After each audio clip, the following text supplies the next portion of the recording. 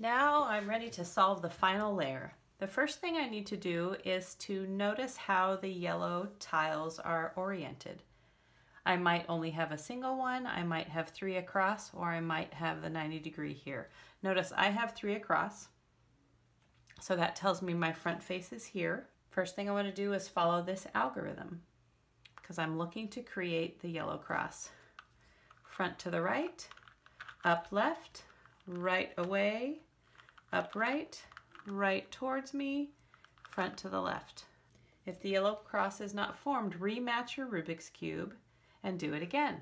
So now I don't have the single, I don't have three across, I now have this pattern with the right angle in it. So this is my front face now. I will run it again, front to the right, up to the left, right away, up to the right, right towards me, front left.